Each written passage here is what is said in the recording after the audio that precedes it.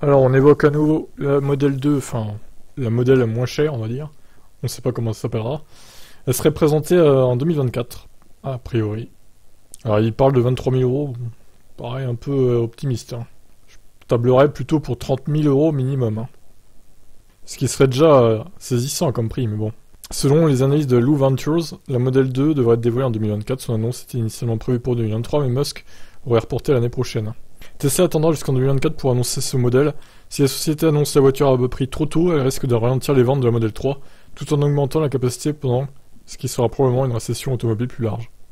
Tesla devrait annoncer la modèle 2 début 2024, mais la production ne démarrera pas l'année prochaine. Les analystes s'attendent à ce que le constructeur lance la production de sa nouvelle voiture électrique mi-2025. Cette année, on s'attend à voir le pick-up électrique Cybertruck sur les routes dès l'été. Pour le moment, pour le moment, on n'a pas de détails sur cette voiture. Tesla n'a rien confirmé non plus. ils n'arrêtent pas de parler de 23 000 euros, mais bon, euh, ce sera pas 23 000 euros chez nous, hein, clairement. Même bonus déduit, ça va être compliqué. Hein. Moi, je pense 30 000 bonus déduits, ce serait déjà pas mal. Vu ce que Tesla euh, propose comme prix en ce moment, 30, une Tesla à 30 000 euros bonus déduit, euh, ça serait révolutionnaire. Hein.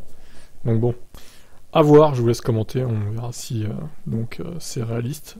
2024. Ciao